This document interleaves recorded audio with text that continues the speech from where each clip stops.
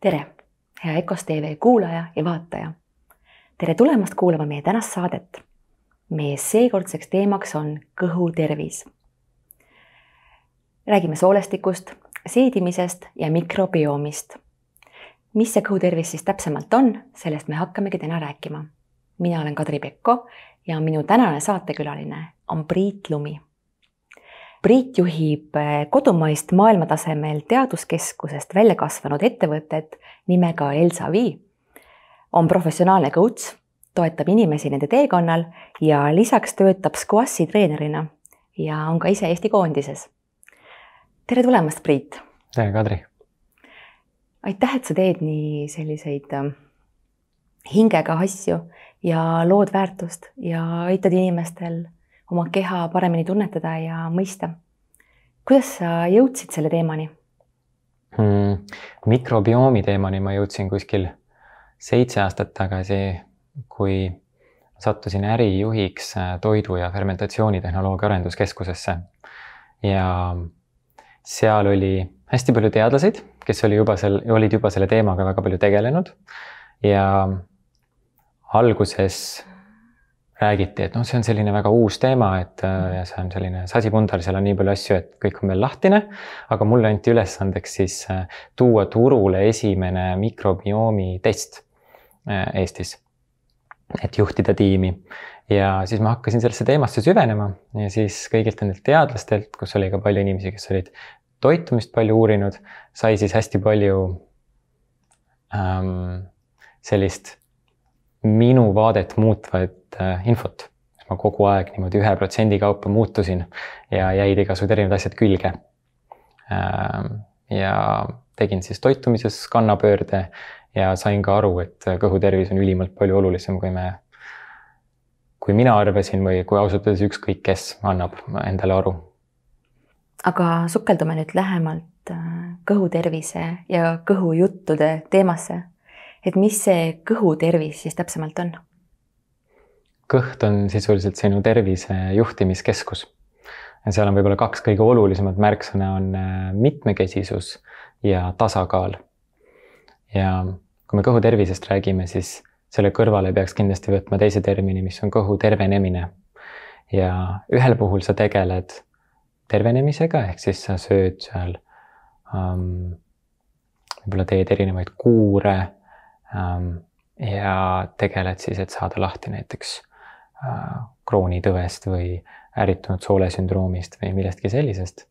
ja kui sa tegeled profülaktikaga või ennetusega, siis võtad vahel probiootikume, sööd hapukapsast mm. muid fermenteeritud toitusid, äh, sööd palju taimi, kiudainerohkeid.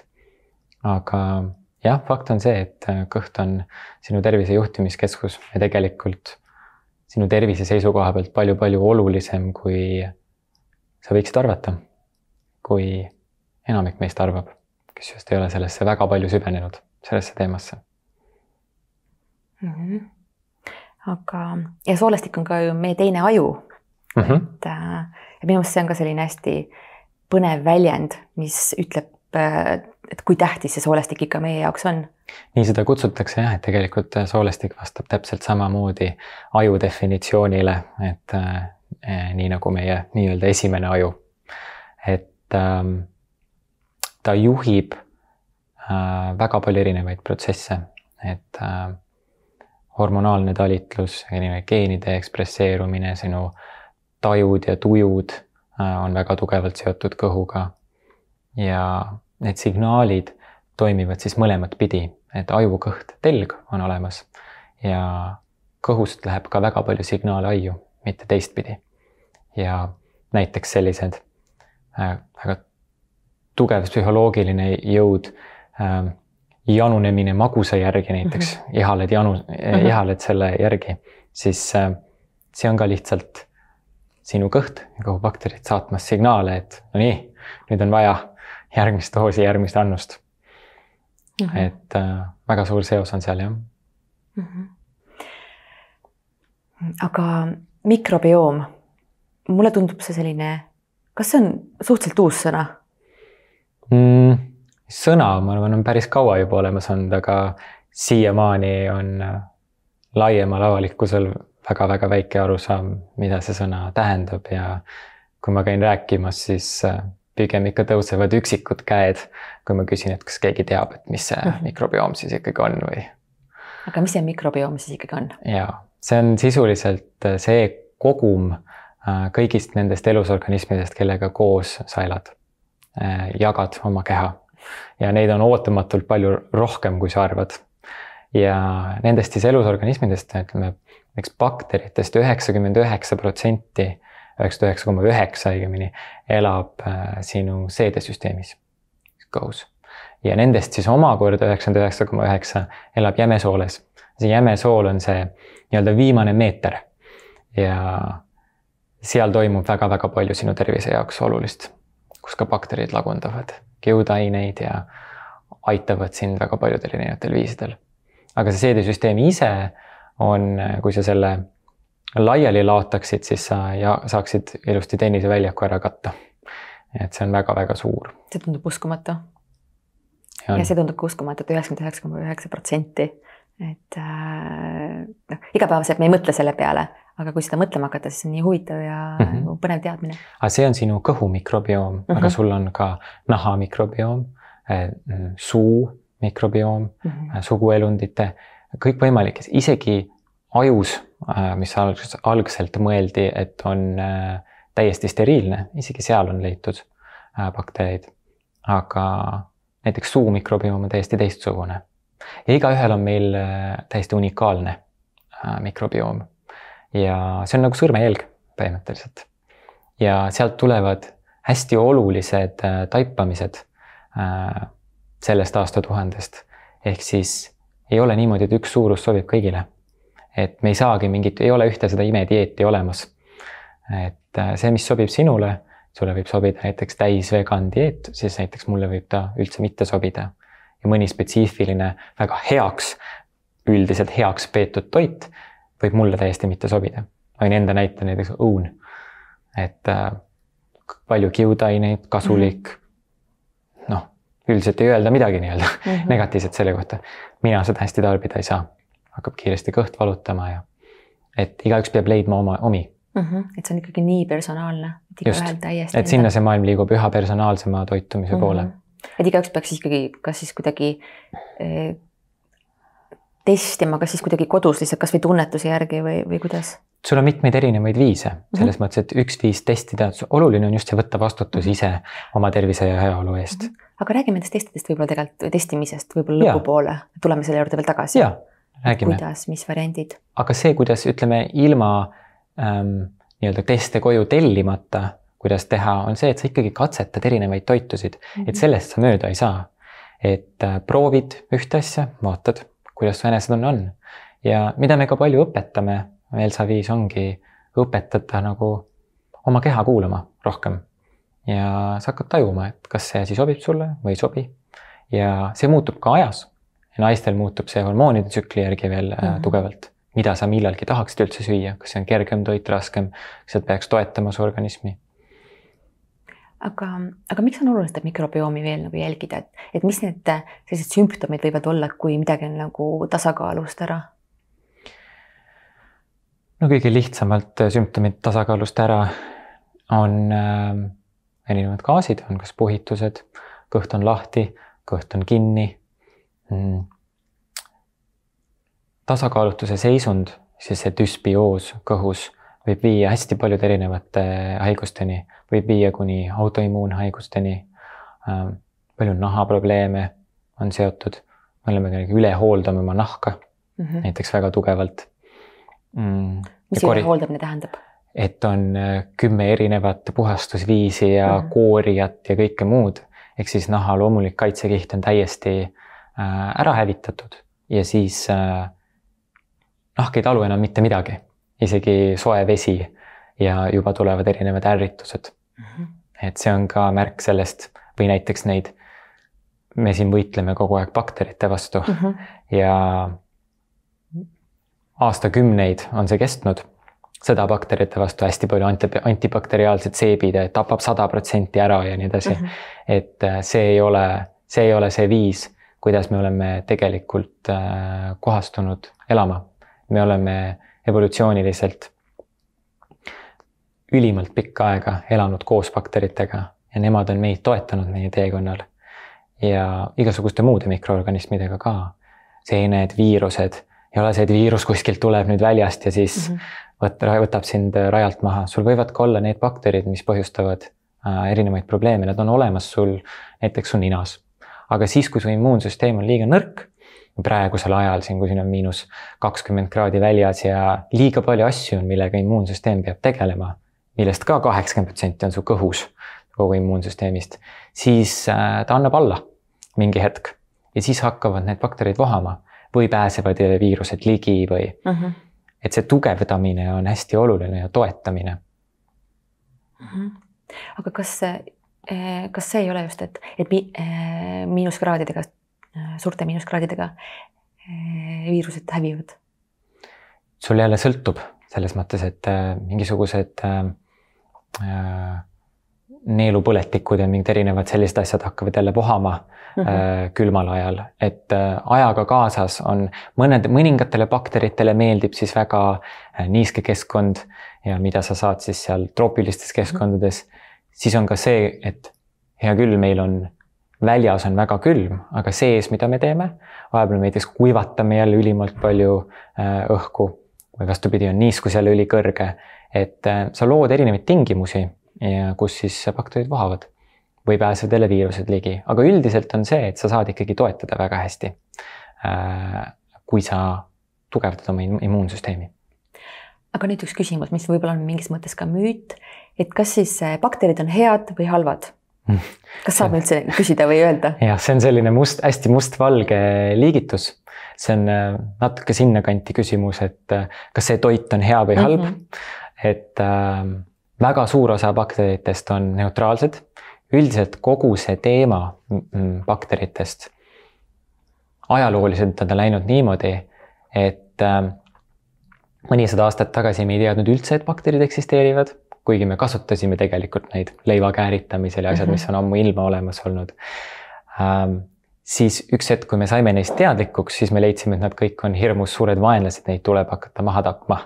ja selle suure sõja me nii-öelda võitsime, aga sellega kaasnesid siis kohe erinevad igasugused äh, südame ja veresoonkonna haigused ja sellepärast, et bakterid on meid väga palju ajalooliselt ka toetanud. Ja nüüd me oleme hakanud sellel aastatuhandel mõistma väga palju paremini, et äh, me oleme täiesti lahutamatu tervik ja me elame sümbioosis bakteritega. tiim. tiim, et see on üks suur tiimitöö ja see on kogu aeg ka sinu enda valik, kui sa midagi toitu suhu paned, siis sa tegelikult valid seda, milliseid baktereid sa siis toidad ja milliseid äh, nälga jätad. ja mõned bakterid tõepoolest võid öelda, et on halvad selles mõttes, et nad põhjustavad sulle mõne väga tõsise haiguse näiteks.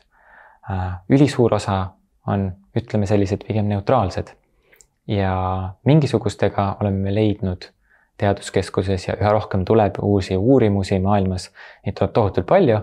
Äh, seoseid jällegi, kuidas see bakter toetab mm -hmm. mingit muud funktsiooni ja et aga üldiselt, mida nad teevad, nad aitavad lagundada ähm, erinevaid äh, kiudaineid siis kasulik, kasulikeks ühenditeks, näiteks äh, võihappe on või etaanhappe, käädikhappe ja, ja butüraat ja lühikese ahelaga rasvhapped näiteks et need on sulle väga-väga kasulikud ja nad aitavad signaalmolekule äh, toota, et. Signaalmolekule, mis, mis see on? See tähendab seda, et sul on äh, näiteks dopamiin ja serotoniin mm, -hmm. neurotransmitterid.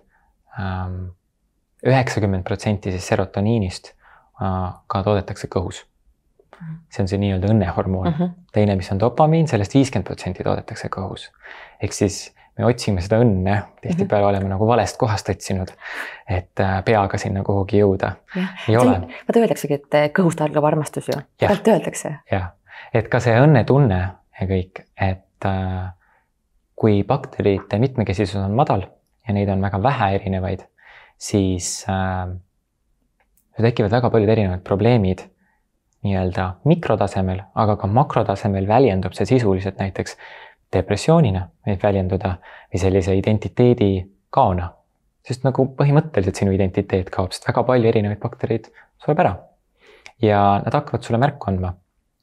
serotoniini tasemed on madalad, et neid ja dopamiini tase on näiteks madal ja mm., ja palju muud on seal, millega ta seotud on, et neid avastatakse üha juurde. ja see on selline terve maailm, ütleks, millesse saab lõputult süveneda. aga lähme nüüd elustiili juurde, et, ähm, et kui sa nüüd, kui ma tunnen, et midagi on paigast ära, siis kust ma võiks alustada, et hakata, et, ähm, et mu enesetunne ja olemine läheks paremaks vundamendiplokid. ma arvan, kõik need asjad, mida sa teed iga päev, on kõige olulisemad. Need, mida sa vahetevahel teed, need ei puutu asjasse. sa liigud, sa hingad, sööd. sellised tegevused. mikrobioom, suu mikrobioom, pesed hambaid, kasutad hambaniiti. aga vundamendiplokid sisuliselt jah, et sa hoolitsed oma emotsionaalse heaolu eest, sa hoolitsed äh, selle eest, et sa piisavalt palju liigud mm,. toitumine, seedimine, ilmselgelt toitumisega saab teha ülipalju. Äh, uni kindlasti, et äh, kui nendega on järje peal, siis on juba väga-väga palju olulist on kaetud. ma arvan, et kõige suurema mõjuga on toitumine siiski. ja mõtle sellele niipidi ka, et kõik need ravimid, me tänapäeval elame maailmas, kus ravitakse sümptomeid mm., mitte juurpõhjuseid. ja süsteem juba on, tervishoid on rohkem nagu haiguste manageerimine. ja süsteem on niimoodi üles ehitatud, et kui sa lähed arsti juurde, siis arstil ei ole nii palju aega sinuga tegeleda mm. -hmm. ta peab andma sulle kiire lahenduse selle kahekümne minutiga, jõua sinusse süveneda mis, mis selle tervikpildi puhul siis on, mis sinul päriselt on. jõuab võib-olla napilt ära kuulata ja juba annab midagi.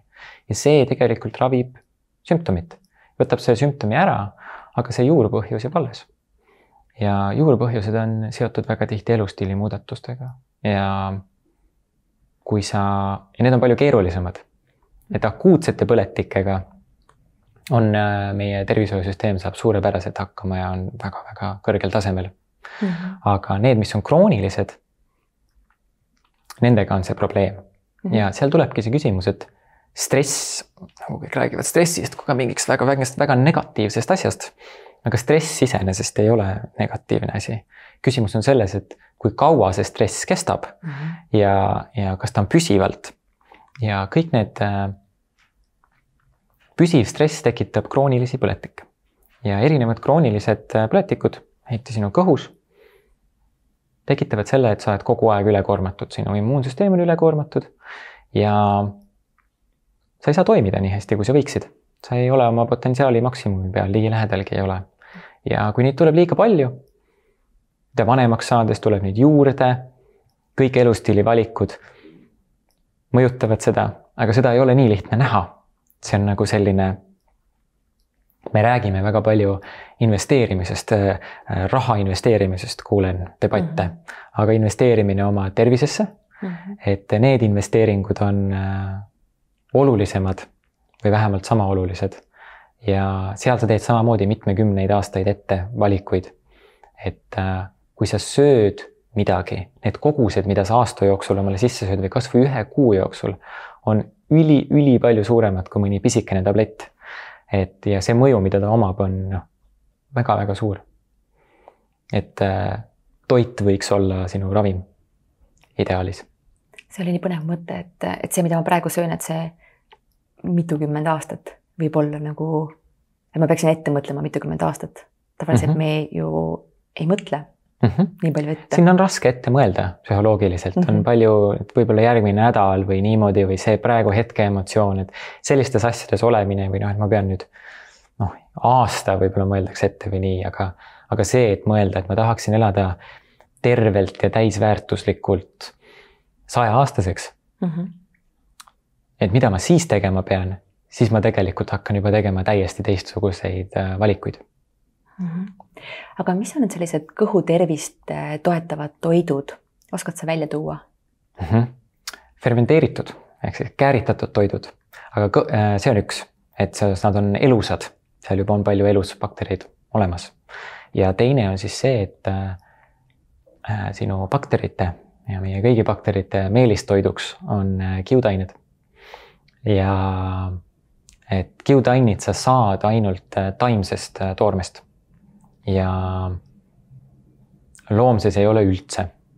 ehk siis kui midagi meeles pidada, siis äh, taimede rikkalikkus, igasuguseid erinevaid äh, taimi. et see ei pea olema see, et vahetad kogu toitumise taimse vastu välja, aga selline hea kuldreegel võiks olla näiteks mingi kaheksakümmend, kakskümmend, mhm. et kakskümmend on siis kõik muu. ja, ja need kiudained on äh, mm,. Nad on, neil ei ole oma makrotoitainete klassi, meil praegu on äh, suhkrud äh,, ehk siis süsivesikud äh,, äh, rasvad ja valgud on nagu kolm tükki mm, -hmm. millest üldiselt teatakse kõige rohkem. ja ajalooliselt on käinud see narratiiv niimoodi, et kõigepealt oli rasv väga suur vaenlane, kolesterool oli sealjuures, et see mm -hmm. põhjustab igasugust õudust ja siis järgmine narratiiv, mis tuli, oli see, et suhkur on kõige suurem vaenlane mm -hmm. ükskõik millises vormis, valge surm. ja siis nüüd mida me ka selles teaduskeskuses palju nägime, on see, et valk on kõige olulisem asi, seda peab igale poole lisama. ja on ka väga palju tootjaid, kes on tulnud meie juurde ja siis äh, varasemalt ma juhtisin teaduskeskust, siis ma räägin sellest, nad tulid ja küsisid siis, et palun paneme siia valku juurde, palun paneme sinna valku mm. juurde, et see on väga trendikas.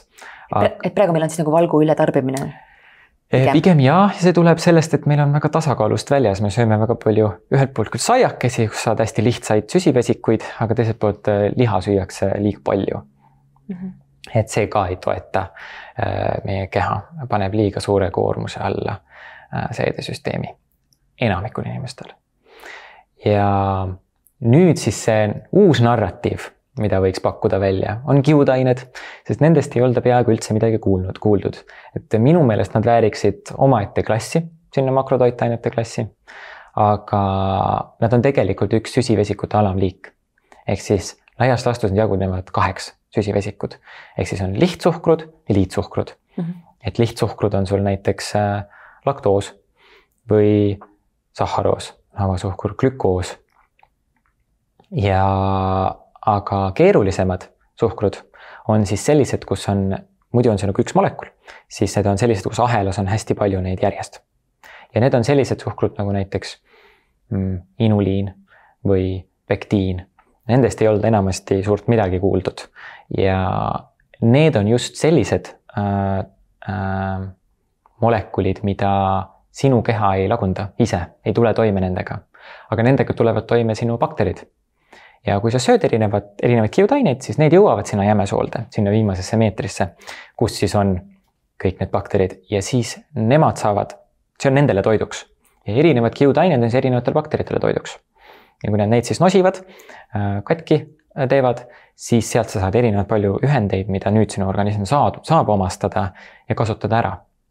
ja samal ajal need bakterid kasvavad üles, rikkalikkus kasvab, ehk siis nagu nende arv ja siis samal ajal ka mitmekesisus kasvab ja sellest võiks mõelda niimoodi, et see on nagu ökosüsteem, täpselt samamoodi nagu on vihmamets või äh, korallrahud või.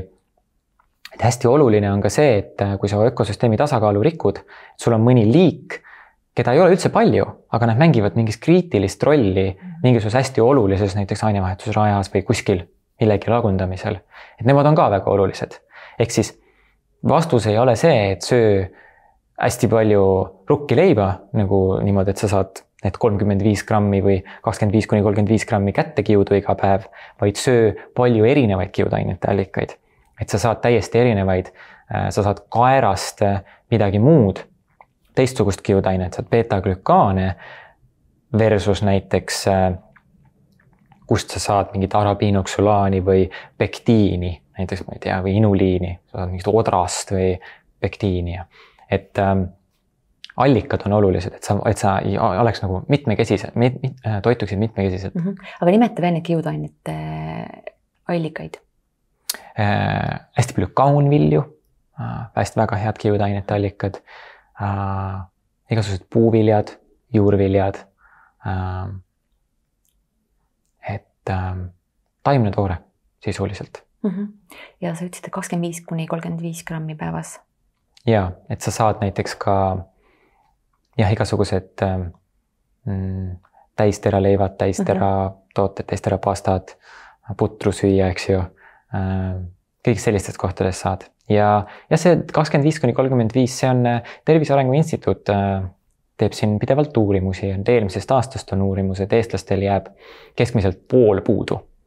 Äh, see kakskümmend viis kuni kolmkümmend viis on see, et naistel on vist kakskümmend viis soovituslik kogus mm -hmm. ja meestel on kolmkümmend viis grammi ja meil jääb ikka enamasti noh, enamasti on ikka väga hapuse, sellepärast et noh, meil on see toitumispüramiid, mida ilmselt kõik on näinud et rohkem ta meil praktikas näeb, noh, tead seal kõige all on need köögiviljad mm, -hmm. juurviljad kõige tipus on siis mingid magusad ja keskel on natukene eh, lihatooteid ja nii, et meil rohkem näeb see välja nagu sihuke toitumisvulkaan. et siis nagu all ei ole väga midagi, üleval on selline plahvatus mm, -hmm. kus on siis väga palju magusatooteid ja hästi palju liha ja piimatooteid ja et, äh, et tasakaalustan ära, ühesõnaga sealt neid äh, kiudusid niimoodi ei leia. ja siis jäävad ka meie kõhubakterid nälga. aga kas kiudaineid on võimalik ka üle süüa? On. Ja ongi see, et kui sa nüüd otsustad, et oi, ma ei ole oma kiududele üldse tähelepanu pööranud, et ma pean nüüd hakkama metsikult neid sööma mm, -hmm. siis äh, tuleks alustada rahulikult. sellepärast, et äh, kui sa juba võtad paar lusikatäit, äh, teelusikatäit, siis võid avastada, et paras möll läheb kõhus lahti, sellepärast et bakterid on oh,, vau, nii palju asju äkitselt tuli, pole, pole saanud, pidupäev, et äh, sa pead hakkama testima ja katsetama ühelt poolt äh, jooma rohkem vett kindlasti ja alustama väikestest kogustest ja aja jooksul suurendama. et meie oleme teaduskeskuses äh, Elsa Vii on siis välja kasvanud sellest teaduskeskusest mm, -hmm. toidu ja fermentatsioonitehnoloogia arenduskeskus. ja sealt on siis ka need, see test välja arendatud, kus saab kõhuelustikku testida, kes sul seal kõik on ja samal ajal ka erinevad kiudainesegud. ja need kiudainesegud on just selle mõttega, et Eesti turul ei olnud midagi sellist ja et kuidas sa saad seda mitme, mitmekesisust äh, tõsta. et ideaalis sa võiksid saada ilma äh, niimoodi, et sa saad kõik toidust kätte, aga väga hea oleks niimoodi, et natukene lisad juurde ähm,. lisad smuutidele või mõned mm -hmm. võtavad veega või ükskõik kuhu. põhimõtteliselt meil on palju erinevaid retsepte, väga mõnusaid ja siis me oleme teinud seal noh, sellised seeriad sisuliselt, mõned nagu sportlikule inimesele, mõned sellisele, kellel juba on erinevad kõhuvaegused, kõhus möllab mõned selline nagu üldsegud ja et, äh, et äh, ma arvan, need on väga head nagu toetamaks just mm -hmm. seda, et kui sa just noh, kui sa oled täis taimetoitlane, siis sa suure tõenäosusega saad väga kenasti kätte mm. -hmm. aga neid on tegelikult kaduvväike protsent. aga räägi sellest testist, testist veel korra ja. lähemalt, see kõlab väga põnevalt. et äh, kuidas see siis käib? et ma tean, et see proov võetakse vist väljaheitest. aga kuidas see protsess siis edasi näeb? et äh, kui ma saan, mis tulemused ma siis nagu täpsemalt saan, kui ma saan need testi tulemused? ja ma alustan võib-olla algusest, et see, kuidas sa tahad seda testi teha, on koduste vahenditega, et kuhugi ei pea minema, et sulle saadetakse selline, saadetakse selline komplekt. ja siis jah, ta on kakaproovist põhimõtteliselt vatituubiga torgata mm, -hmm. panna sinna äh, tuubi sisse ja saata laborisse. nüüd laboris analüüsitakse seda ja sealt siis eraldatakse kõikide bakterite DNA ja siis sa saad sealt, äh, saad raporti. ja siis sa saad seda raportit ise vaadata või siis analüüsida koos äh, toitumisterapeudiga näiteks, kes siis aitab sul sealt erinevaid asju välja võtta ja tõlgendada. ja sa saad sealt teada igasuguseid erinevaid asju, sa saad teada mm,, kas sul on tasakaalus äh, mikrobioom mm,, kas seal on piisavalt mitmekesisust, milliseid, milliseid kiudaineid sa võiksid äh, tarbida rohkem, kas sul on äh, põletikke põhjustavaid baktereid äh, kõhus kuidas sa võrdud, võrd-, oled võrdluses Eesti keskmisega mm,? väga palju erinevat infot, aga ma ütleks, et kõige olulisem asi, mida inimesed enda jaoks tihti saavad, et ta on nagu selline muutuste katalüsaator. vaata, ma alustasin mhm. sellest, et ma ütlesin, et sa ei ole üksi mhm. ja selleni on väga raske kuidagi ise jõuda või olla niimoodi, et noh, okei okay,, ma ei ole üksi, hea küll, nad elavad seal ja noh mm, -hmm. et aga, aga päriselt vaadata neid tulemusi ja siis olla, et ahah, et okei okay,, mul on sellist baktereid, sellist tegelasi nii ja nii palju, selliseid on nii ja nii palju. ja siis sa oled, aa, vau, et kui ma nüüd söön sellist toitu, siis ma saan toetada neid ja neid võib-olla jälle vähemaks võtta, eks. et, et see nagu kontroll on minu käes. et see on see nende tunne, mida nad saavad, et mina saan ise oma toitumisvalikutega muuta. ja sinna juurde tuleb veel see, et äh, me mõtlesime selle aastatuhande alguses, et kui inimese genoom saab sekveneeritud, me teame kõiki geene, mis meil on, et siis meil on kõik lahendused teada, me lahendame kõik haigused ära, kõik, kõik on nagu, kõik on korras. aga me saime teada, et tegelikult meie genoom on väga-väga väike. et äh, napilt paneme kana genoomile ära või mingit, äh, vist kirbul äkki oli rohkem geene. et äh, tegelikult ülisuures osas on meie geenid, meie bakterite geenid, kes on meie see kogu mikrobioom mm. -hmm. ja sa saad omi geene, sa ei saa muuta äh, sisuliselt, aga sa saad muuta väga hästi seda, et kui lahkuvad mõned bakterid ja tulevad teised asemele, siis tegelikult sa muutud juba nagu molekulaarsel tasemel teistsuguseks inimeseks. et see, kui keegi ütleb sulle, et sa, sa oled muutunud, siis, äh, siis jah, olen küll. ja, ja sa muutud ja uuened, rakkude uuenemise protsess ja nii, see on, see toimib, toimub nii tihti, et sa oled, sa oled äh, iga mingi perioodi tagant äh, oled täiesti uus inimene, võib nii öelda, ka naha mikrobioom kõik uueneb. kui kiiresti need naharakud uuenevadki, seal on mingi? Äh, nahaga mm,, vist oli kuu oli niimoodi, et kui sa hakkad nüüd mingisugust uut mm, kreemi proovima või, või mhm. hakkad tegelema oma naha mikrobiomiga, siis noh, siin alles äh, tegime koostööd Lumi Nordicuga mm. -hmm Äh, looduskosmeetikaga mm, -hmm. siis ähm, seal on ka ähm,, sa pead ootama kakskümmend kaheksa päeva umbes, oli see, et enne kui sa hakkad neid muudatusi nägema. ja põhiline soovitus, mida nende asutaja enamasti ütles inimestele, kes tulid, oli see, et jäta kõik asjad ära alustuseks. nagu võta kõik need kümme asja ära, mis sul on ja siis pane üks, vali üks või, või oota, oota nädal-kaks, jäta rahule, et lase tegelikult sinu äh, mikrobioom ja üldse sinu organism on väga-väga-väga palju targem ja me üritame seda hästi paljudel erinevatel viisidel manipuleerida kogu aeg. aga tihtipeale on see, et kui seda rahule jätaksid, siis ta, ta annab, ta, ta ise terveneb. väga palju ka terveneb. aga tulles veel tagasi korra selle testi juurde, et kas selle testiga, kui ma saan need tulemused, kas selle põhjal ma saan ka sellise info, et kas õun, kas näiteks siis õun sobib mulle või, või piimatooted või mis iganes, et eh, kas see annab mulle ka selle info?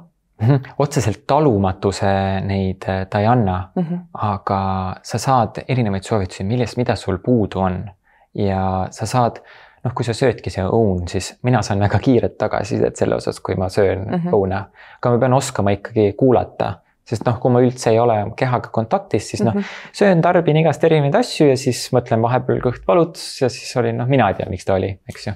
aga neid seoseid saab hästi ka taga ajada.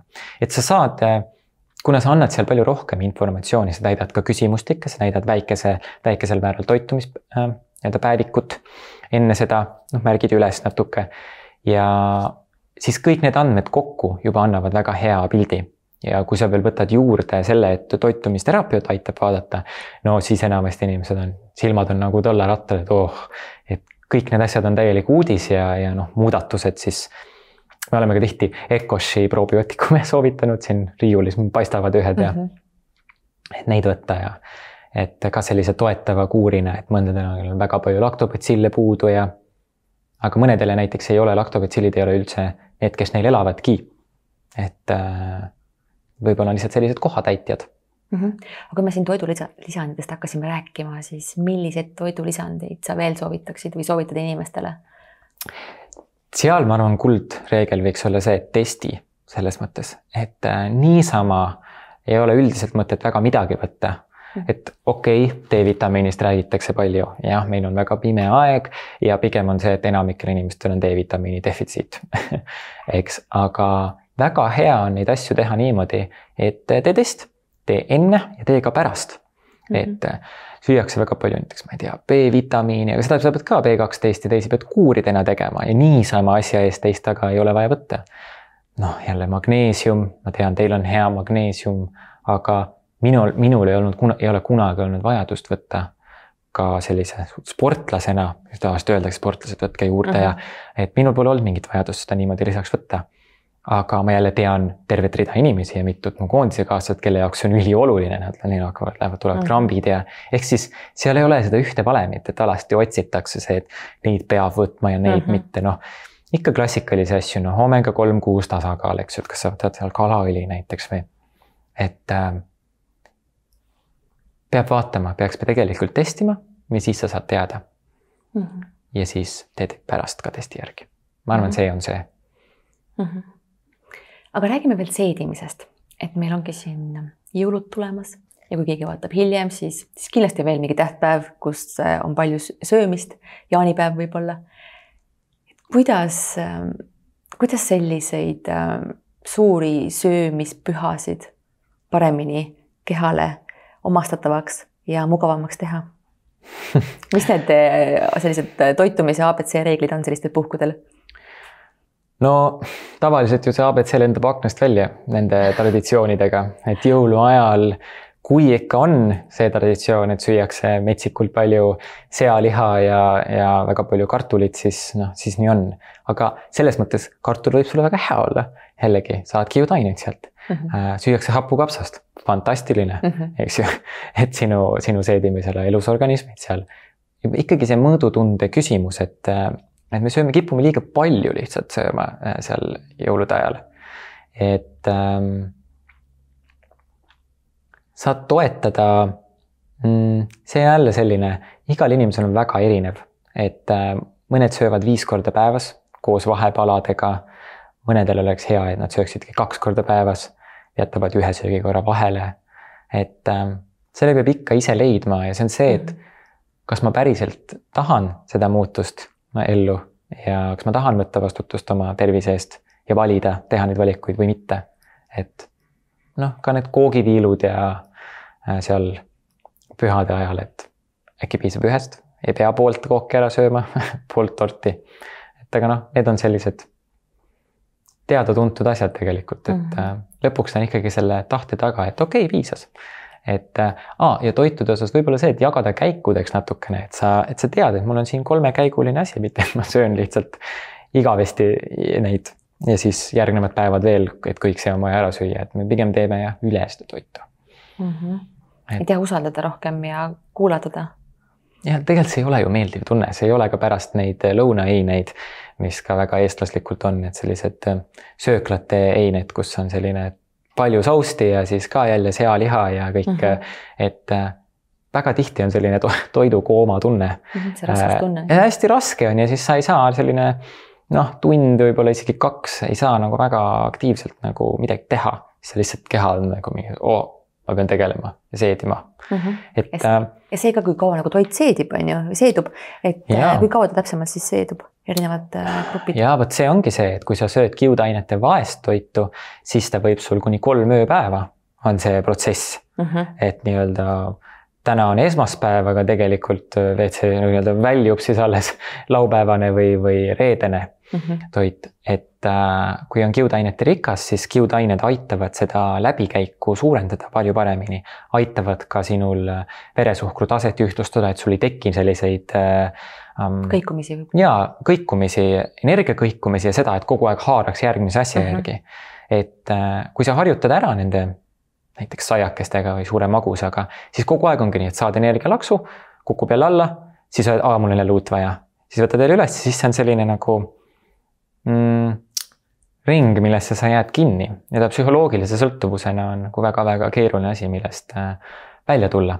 Ja ei aita ka, et kõikvõimalikud reklaamid ja kõik muud soodustavad seda mm. -hmm. et see keskkond, võib-olla ära hoia lähedal endal neid kõiki asju, nii palju, et sul on kõik käeulatuses need kogu aeg. kui sa paned silma alt ära, siis, siis tuleb ka läheb ka mõistusest see, see ära, siis on kergem nagu, et me ei pea kogu aeg tahtejõudu rakendama mm. -hmm. aga see koht, et kui ma näiteks, näiteks täna söön šokolaadi, siis, äh, siis homme on mul ka see, et tahaks ja, ja järgmine päev, sellest ülejärgmine päev on juba ka, et, et, et tekib nagu nii kiiresti see.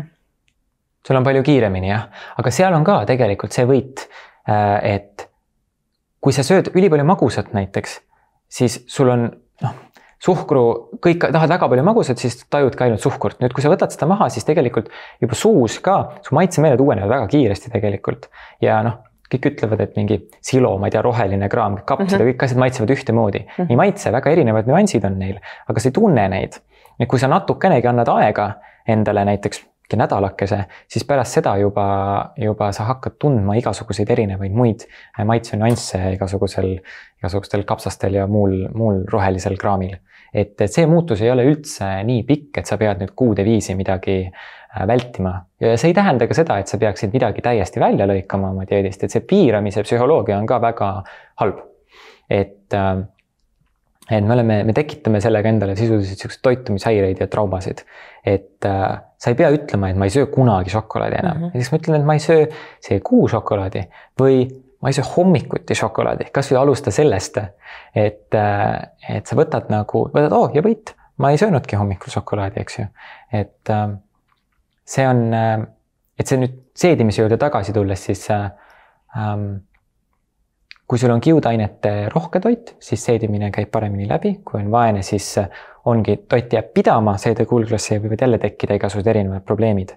ja nüüd, kui sa sööd vähe kiudaineid ja bakterid jäävad nälga, siis tegelikult nad on hästi kohanevad tegelased. Nad tahavad ikka elada, samamoodi nagu meie mm -hmm. tahame elada ja siis mida nad tegema hakkavad, nad hakkavad sööma sinu soolebarjääri ja seda lima seal ja kui nad söövad sinna auke sisse, siis tekivadki sellised asjad nagu lekkiva soole sündroom ja ja see on juba hästi problemaatiline, sellepärast et siis satub sinu vereringesse äh, asju, mis sinna ei tohi sattuda ja sinu immuunsüsteem on ka selle kihi taga. ja see immuunsüsteem, see on ka, see kiht on väga-väga õhukene ja ta on mhm. üles ehitatud niimoodi. see on kuidagi loodud niimoodi, et me oleme loodud olema pidevas kontaktis keskkonnaga. Et muidu ta oleks väga-väga palju paksem. aga kui me nüüd ei toeta Äh, baktereid, neid on seal väga vähe ja nad nosivad sind ennast sisuliselt uh, -huh. siis äh, ongi needsamad kroonilised probleemid tekivad kogu aeg. aga mis see lekkiva soole sündroom, räägi sellest äh, paari sõnaga, mis see täpsemalt on? no sisuliselt ta ongi see, et bakterid on hakanud sööma sedasama limakihti mhm. -huh. ja sinna tekivad augud vahele ja nüüd sinna sinu seedesüsteemist siis seedekulglast tulevad need satuvad, satub vereringesse asju, mis sinna ei tohiks sattuda. kõige lihtsamalt öeldes. ja kui sinna satub midagi, siis sinu immuunsüsteem kohe on, et oota, siin on midagi, mingi probleem, et sellega peab tegelema, mingi mhm. võõrkeha, mingi väline asi, see ei peaks siia kuuluma mm -hmm. ja ta hakkab sellega tegelema. ja tekib jälle mingisugune põletikualge mm -hmm. ja neid on väga palju, siis üks hetk tuleb väga suur ülekoormus. Ja siis ongi see, et sul on kogu aeg mingid probleemid tekkiva soolesündroomiga, et ta on selline hästi tihti selline abstraktne mm, abstraktne probleem inimestele, et ühelt poolt ta on, ähm, ta võib olla nagu väga pikal skaalal, nii nagu on gluteeni talumatus, sul võib olla väga kerge gluteeni äh, selline, et sul nagu hakkab võib-olla veidi imelik, aga võib ka olla selline, et sul on puhtalt tsöliaakia, mis on juba nagu mm -hmm. konkreetne haigus, umbes see, et kui sa saad natukene gluteeni kuskilt, siis sul hakkab väga-väga halb. Et see on ka sellise pika skaala peal, et kui palju sa oled liiga teinud oma mikrobioomile ja noh näiteks teinud läbi mitu antibiootikumi kuuri, see on nagu enam-vähem tuumapomm sinu mikrobiomile, et tapetakse maha need, mhm. kes on. Äh, kogu armee. Need, need, kes on need äh, haigustekitajad.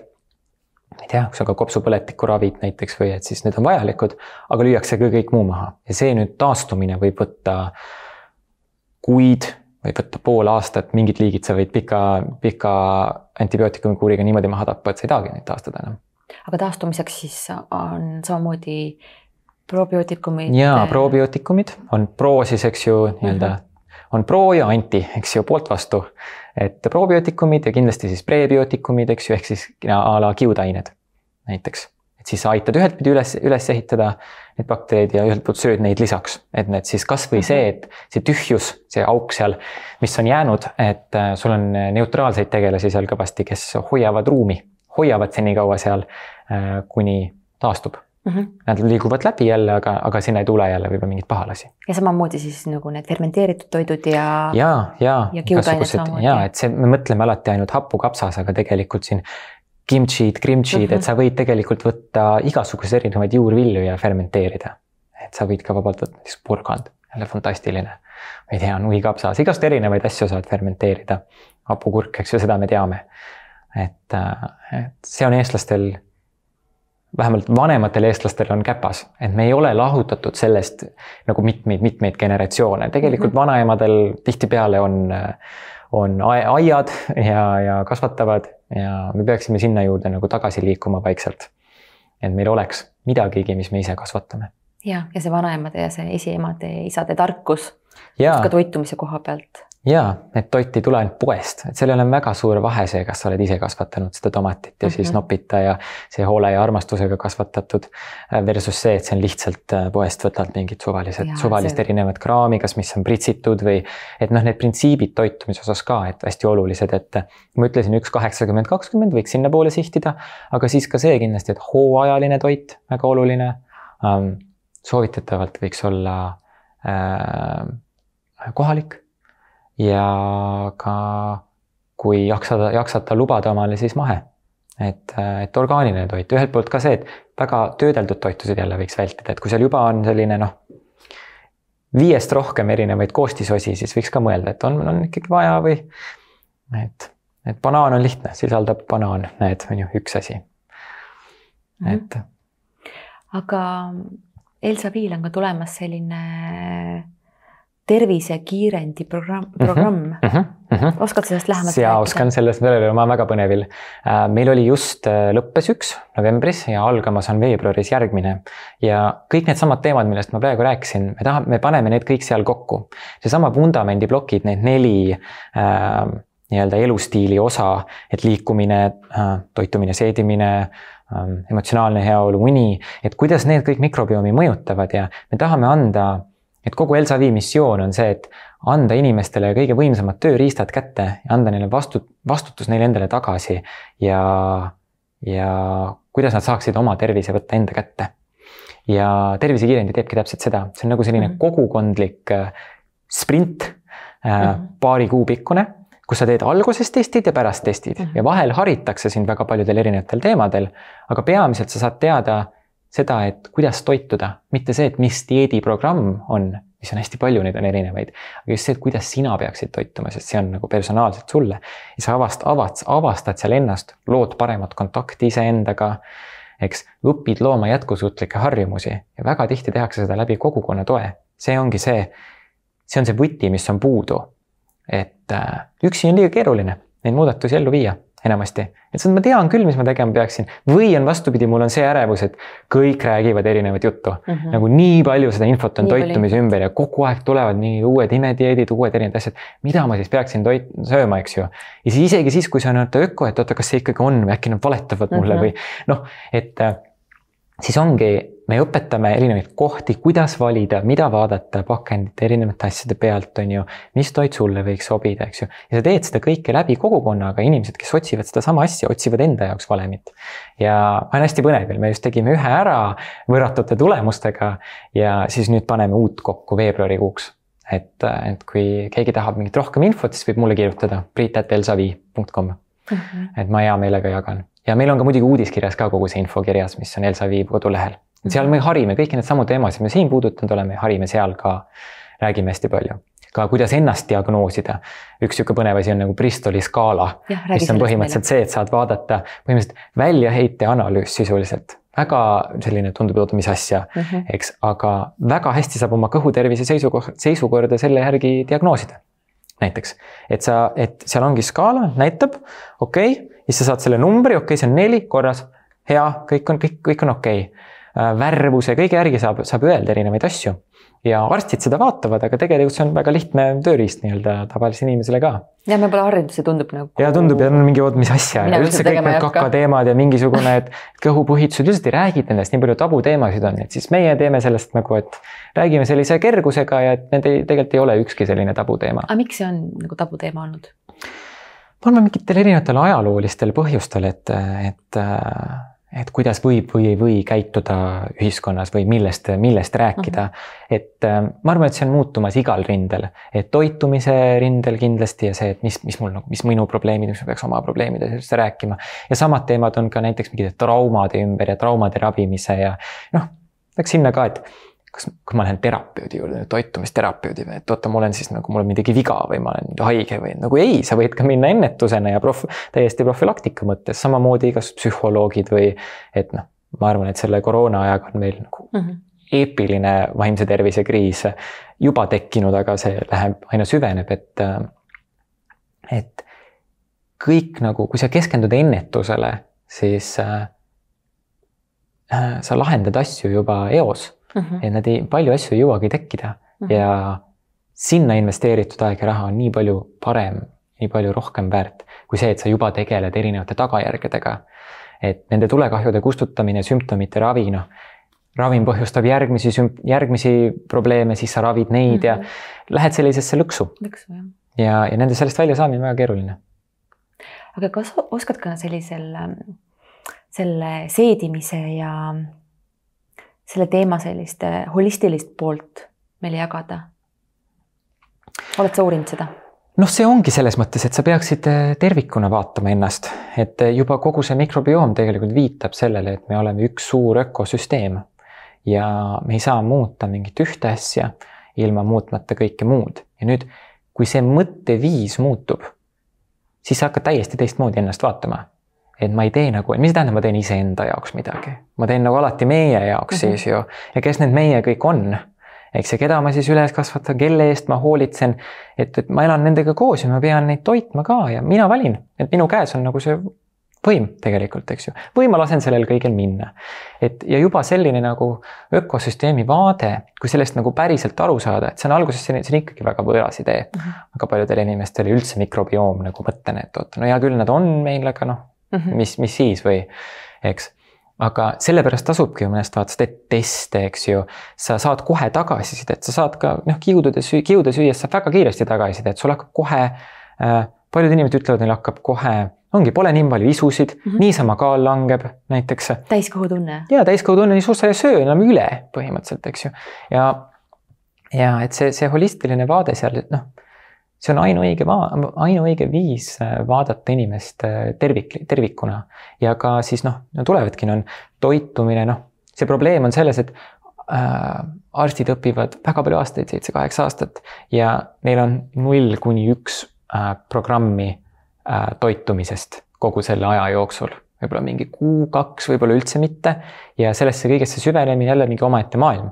aga nagu see, et toit võiks olla ravim või et noh, et ei, ei tohiks olla seda suht-, suhtumist arstidel, et kui pole ravijuhendis kirjas, et siis, siis ei eksisteeri või et mm, -hmm. et, et toit võib olla meile väga-väga suur ravim ja kõik need muud elustiili muudatused, sa hakkad neid kõige olulisem printsiip seal on see, et sa peaksid liikuma sammu kaupa või pisikeste sammude kaupa, ühe protsendi kaupa. ehk siis see valem, kui sa võtad üks protsent, oled parem kui eile ja sa oled iga päev niimoodi, siis aasta pärast oled sa parem kolmkümmend kaheksa korda kui sellel hetkel, eks ju.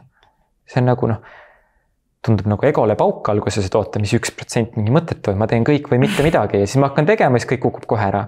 me rakendame hästi palju seda motivatsiooni ja tahtejõudu üritame nagu rakendada, aga ükskõik kui tugev sa oled, siis sa valem või hiljem pannud alla. nagu pead vastu, no kaks nädalat, okei okay,, kaks kuud mm -hmm. selle dieediga, proovid ühte dieet, toimib, aga ma ei suuda seda hoida jälle, teist dieeti ja ma ei suuda jälle hoida, eks ju. et äh, kukun selle kõigepealt maha ja see mõtteviis peab jälle muutuma. ühelt poolt kergusega tegemine, selline, et ma ei süüdista ennast ja ma ei keela omale otseselt midagi. ja teine näiteks protsessile keskne lähenemine, mitte eesmärgi, et okei, ma läbin selle dieedi mm, -hmm. no fine, läbisin selle dieedi. aga protsess see on, see on lõppematu ja ma kogu aeg midagi timmin. ma midagi õppisin täna toitumise kohta poes, vaatasin seda ühte sildikest ja sain teada, mida see E tähendas, on ju. või lugesin mingi Foodishi lehelt midagi näiteks, on ju. mina sain teada, mis asi titaandioksiid on või mis see ta vastab, et see, see keelustati ära, okei okay,, on ju. ja selline pisikene asi, jälle üks protsent, on ju. või leidsin mingisuguse vägeva äh, fermenteeritud toidu omale uue, mida ma polnud varem katsetanud, on ju. jälle võit et selliste väikeste sammude kaupa, et lihtsalt alusta, on see point. et kui sa lähed niimoodi protsessikeskselt, siis sa ei tunne iseennast ära juba väga lühikese ajaga. et me alahindame väga palju seda, et ülehindame seda, kui palju me suudame teha mingisuguse kahe nädala või kuuga ja jämedalt alahindame seda, kui palju me saame näiteks aastaga muuta oma elu, täiesti muuta mm. -hmm. kas sa iga päev õhtul mõtled ka, et mis see täna minu see üks protsent oli? ikka, no selles mõttes ma olen, mina loen oma nii-öelda, järgin oma erinevaid harjumusi nagu mitte hammaste pesu näiteks mm, -hmm. sest seal ma võin omale kogu aeg sada punkti panna, sest ma pesen hambaid hommikuti õhtuti, aga ma võtan oma näiteks, hiljuti võtsin hambaniidi juurde ja see on mingi harjumus, mida ma tahan juurutada ja siis selle juurde ma panen linnukese nagu, et ma tegin, eks ju. et seda me ka õpetame oma programmis, kuidas sa jätkusuutlikult harjumusi lood ja suudad neid hoida ka. Et äh, see on enamasti inimestel täiesti tume maa. ja sa teed mingi aja teed seal ja kukud maha, mingi aja mm. teed jälle kukud maha, aga just need igapäevased asjad on need, mis loevad kõige rohkem et äh, jaa, mina ikka vaatan üle kõiki neid asju ja ma võtan jälle mingi paar uut harjumust, mida ma tahaksin see kuu ja mingid asjad, mida ma väga tahaksin hoida ja siis ma jälgin neid. teinekord nagu, kui ma kukun maha, alati juhtub, ei ole -hmm. keegi ei ole ideaalne, siis ma jälle vaatan, et aa ah, okei okay,, huvitav.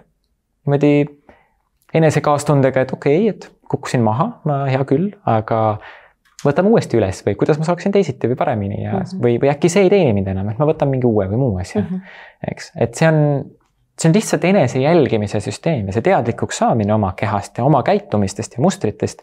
kohe, kui sa saad sellest teadlikuks, siis sa juba saad, sul on väga palju relvi käes, et muuta mm. -hmm. ja seda teeb ka mingisuguse natukene toitumispäeviku jälgimine, palume inimestel toitumist üles märkida, siis inimesed on juba mingi, aa, ma sain nii palju kasu sellest, et ma juba, juba tean vaata igast asju, sa ei ole kunagi teinud seda, sa pole teadlikuks saanudki lihtsalt, aa, okei okay,, ma arvan, ma söön nii palju. ei söö mingi -hmm. täiesti teistsugune noh, me lihtsalt kujutame ette midagi ja kui sa seda kõike nagu lihtsalt tood päevavalgele, kas noh, mida me õpetame, kas mingi läbi kirjutamise, omavahel rääkimise ja kõik mõtlevad, et ma olen oma probleemidega üksi. keegi ei saa mind aidata, et see on minu, minu need kõhupuhitused, et neid ei ole ju tegelikult kellelgi, on ju. ja siis räägid nendes ringides okei okay,, keegi, keegi julge jagab, aa okei okay,, mul on ka, mul on ka, mul on ka mingisugune pooled inimesed, kellel on, eks ju. või kellel on mingi, ah mul on aneemia, aa neil, nendel nagu poolel grupil on aneemia näiteks on ju rauapuudus. et okei okay,, mida me saaksime teha, eks ju, mhm. mis ei ole vastus ainult raua söömine tegelikult, seal peab olema kompleksina muid asju veel juurde. ühesõnaga, see on, iga kord on see, et sa saad teadlikuks, eks, valgustunud sellest asjast ja siis sa saad teha muudatust, eks ju, ja muudatust saad sa teha kogukonna toe abil kõige paremini. minna koos mm. -hmm.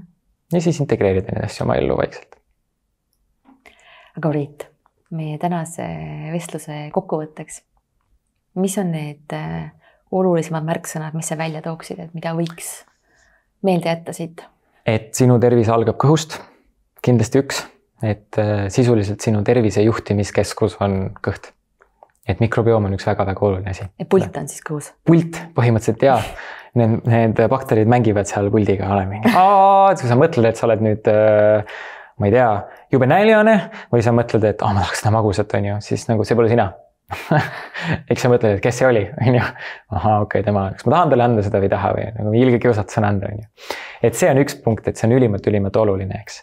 teine see, et kõik need vahendid on sinu enda käes, et võtta vastutus tegelikult oma, oma tervise ja heaolu eest. kui sa hakkad ise uurima, mida rohkem sa õpid oma keha kuulama seda parem. siis üks protsent lähenemine, mitte see, et mingi hullu eesmärgi suunal mm. kõik või mitte midagi. mis veel, kergusega tuleb teha. et kui sa hakkad keelama, siis sa kindlasti kukud läbi. tähendab, et ära mõtle sinisest elevandist mm. -hmm võimatu, kohe mõtled, on ju. see, kui ma hakkan omale keelama seda, et ma ei või, ma ei või kuu aega süüa, siis ma lihtsalt mõtlen pool päeva sellele, et ma tahan ja siis ülejäänud aja ma, kui ma ei keela, siis mul on mingi, mul on täiesti ükskõik sellest šokolaadist ausalt öeldes. et, äh, et see psühholoogia toimib. Ähm, ja mis veel, toitumise printsiipide osas võib-olla see, et kaheksakümmend, kakskümmend, mm, hooajaline, mm, kohalik, orgaaniline, soovitatavalt mahe. et sellised printsiibid. et ähm, ja, siis... ja see, mis sobib sulle mm. -hmm. ei tingimata ei sobi mulle, unikaalne. iga toitumine unikaalne. see on nagu sõrmejälg on mikrobioom. ja, ja fermenteeritud ja. aa muidugi, kiudained, kiudained, kiudained kuubis on ju, et kui tahta mõelda toitumise peale, siis taimede mitmekesisus on see. ja kui ikka ei saa kokku, et siis võta juurde lisaks, et sul on toidulisand ka juures. et see on hea, lihtsalt toetad igale poole, tugevdad toitu. tead jälle, et siin läheb bakteritele, see ei lähe mulle, see läheb bakteritele väikene kulbitäis juurde. natuke endal, natuke bakteritele ka. see on sama nagu need issi eest ja emme eest siis sa oled niimoodi, et see aitab. aga aitab. ja alusta rahulikult aga aitäh sulle, Priit. suurima rõõmuga, aitäh kutsumast, Kadri. Äh, väga palju informatsiooni ja väga praktiline. loodan, et oli kasu. ja ma loodan, et äh, kuulajad leidsid siit ka endale midagi ja kuula oma kõhutunnet. Vaata, mis ta räägib ja lihtsalt märka. sinu keha annab sulle ise need vastused, mida sul on vaja praegu. aitäh sulle ja järgmise korrani